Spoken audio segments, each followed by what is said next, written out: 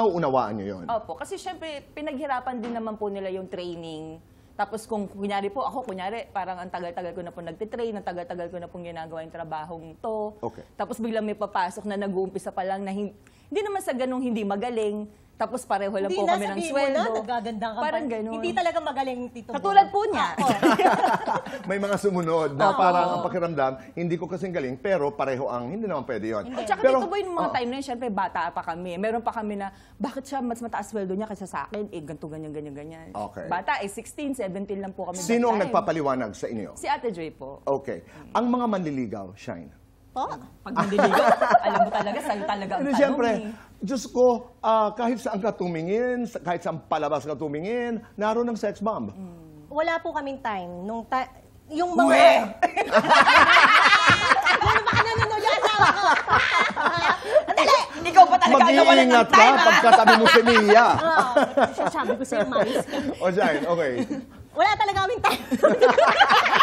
Ikaw Wala. talaga nawalan ng time, ha? Hindi kasi Tito Boy, sobrang dami naming trabaho. So kung may manligaw man sa amin, sinasagot ka agad namin.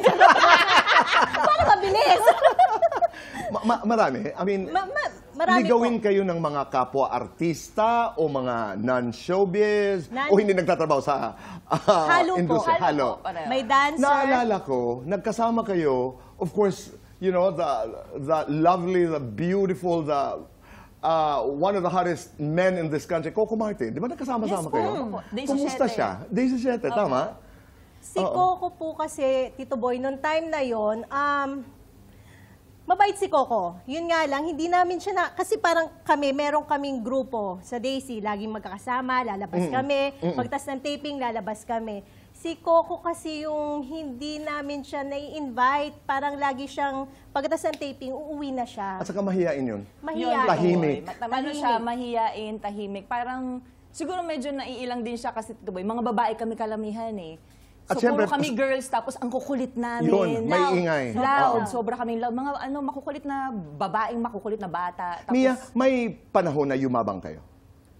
Yumabang Tito Boy. Mm, Oo, mami Meron. Tito Boy, for Di sure. ba? Ah, pinagdadaanan yun eh.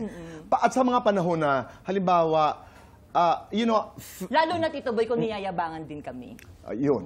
Di ba? I was about to say, kunyari na lang, ha, fame is a very different concept. Di ba? Iba yun pag dumating sa buhay, huwag kang ganyan. Hilo ko. Hindi minsan, bata ka, tapos biglang nagkagulo ang divisoria, biglang ah, kumikita sa, sa mga shows. Hindi mo ma-handle minsan yon. Pero halimbawa sa mga pagkakataon, kayo ba yung tipong magkakaibigan na, Mare, ah, wag. Or it had to be Joy who would say, oh, baba lang ha? Ah, si Ate Joy kasi parang hindi rin niya masyadong inaano sa amin. Sa dami ng Sob- trabaho, hindi na naisip yun.